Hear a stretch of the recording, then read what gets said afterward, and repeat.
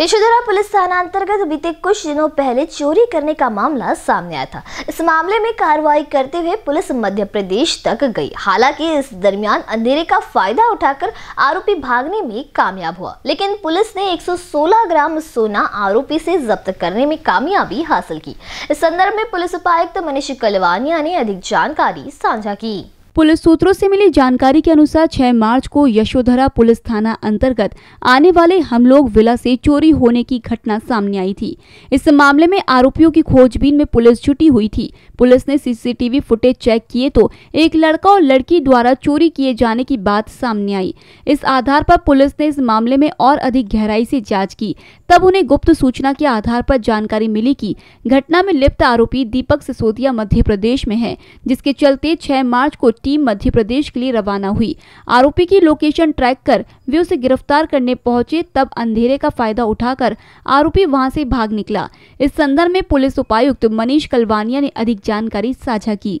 Footage में हमको दो आरोपी दिख रहे थे, जिसमें एक लड़की और एक लड़का है। हमारी टीम ने तपास पथक ने और टेक्निकल टीम ने इसका तपास किया और बाकी इतर दूसरे पुलिस स्टेशन में, जहाँ पर ऐसी वारदात हुई है, उनके साथ संपर्क में आके एक आरोपी को निष्पन्न किया गया है, जिसका नाम है दीपक सिसोदिया। उसके साथ में एक और लड़की है जो बहुत एक माइनर है, उसका नाम अभी तक निष्पन्न नहीं है।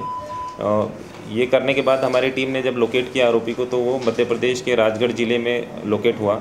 वहाँ पर हमने हमारा तपास पथक भेजा। आठ मार्च को हमारे तपास पथक की टीम वहाँ गई थी और उस आरोपी का पाठलाग करते हुए गोपनीय माहिती के आधार पे हमको उसका लोकेशन मिला था। उसका पाठलाग करते हुए वो अंधेरे का फ़ायदा उठा के भाग गया बट हमको रिकवरी उसमें से हुई है। जो टोटल माल चोरी गया था वो 167 gram gold plus 2.5 lakhs cash ऐसा चोरी हुआ था। और हमको जो अभी रिकवरी मिली है उसमें 116 ग्राम गोल्ड मिला है जिसकी कीमत अं-, अंदाजे पाँच लाख पचहत्तर हज़ार रुपये है। इस दरमियान आरोपी फरार होने में तो कामयाब हुआ, लेकिन पुलिस ने 116 ग्राम सोना आरोपी से जब्त करने में कामयाबी हासिल की। बता दें कि उक्त आरोपी पर ठाणे शहर समेत अन्य जगहों पर पहले भी कई मामले दर्ज हैं और वो शादी ब्याह के दौरान चोरी को अंजाम देते हैं। पुलिस द्वारा इस मामले में आगे की जाँच जारी है। कैमरा पर्सन अखिलेश भारद्वाज के साथ देशा अटवा बी न्यूज़ नागपुर।